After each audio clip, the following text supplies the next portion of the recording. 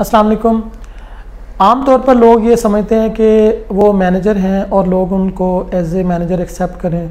Without doing anything for the team तो this is not possible आप अगर specially ये मैसेज उन लोगों के लिए जो फ़र्स्ट टाइम मैनेजर बने हैं या अभी मैनेजर बनने जा रहे हैं या सुपरवाइज़र बन रहे हैं या टीम लीडर बन रहे हैं तो अगर आप टीम को इफ़ेक्टिवली ऑपरेट करना चाहते हैं तो सबसे जो पहला काम आपको करना पड़ेगा वो है आपने अपनी टीम को कॉन्फिडेंस में लेना है। टीम को कॉन्फिडेंस में लेने के लिए आपको फ़र्स्ट स्टेप जो लेना पड़ता है, वो होता है कि अगर टीम से कोई मिस्टेक्स हो रही हैं या कोई ऐसे काम वो कर रहे हैं जो कि बिज़नेस को नेगेटिव इम्पैक्ट दे रहे हैं तो वो उसके ऊपर उनको गाइड करें। उसको ख़ुद से मैनेज करने की कोशिश करें। वो जो उनकी मिस्टेक्स हैं, उनकी प्रॉब्लम्स हैं, उसको अपने सर पर लें और टॉप मैनेजमेंट को खुद फेस करें। ऑटोमेटिकली टीम का कॉन्फिडेंस आपके ऊपर आएगा और टीम आपके लिए जान देने के लिए भी तैयार हो जाएगी।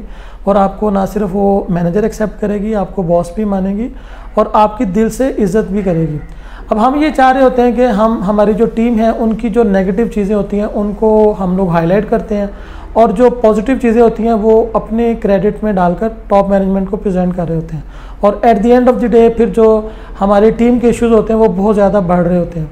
तो वो तो ऑटोमेटिकली बढ़ेंगे जब आप किसी को उसके नेगेटिव काम के ऊपर या उसकी गलती के ऊपर आप हर वक्त उसकी सजनिश करते रहेंगे, हर वक्त उसको कोसते रहेंगे, हर वक्त उसको डांटते रहेंगे, बजाय इसके कि उसको आप गाइड करें, उसको हेल्प करें, उसको डेवलप करें तो फिर तो एक टीम में रिफ्ट डेवलप होगी।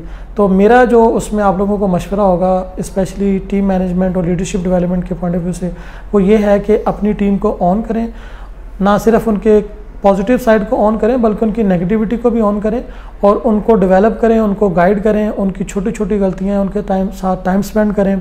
उनको प्रॉपरली गाइड करने के बाद फिर आप उनसे रिज़ल्ट एक्सपेक्ट करें, ना कि उनको बहुत ज़्यादा काम दे के और उनके, उनको अंडर प्रेशर करके और उनको नेगेटिव तरीके से पॉलिटिक्स उनके साथ खेल के फिर आप उनसे रिजल्ट्स एक्सपेक्ट करें। तो मेरे ख्याल से इससे आप अपने टारगेट्स को अचीव नहीं कर सकेंगे और टीम में डीमोटिवेशन लेवल पैदा होगा और आप एक अच्छे मैनेजर या अच्छे लीडर साबित नहीं हो सकेंगे। बहुत शुक्रिया। असलकुम जी, ये मैसेज कैसे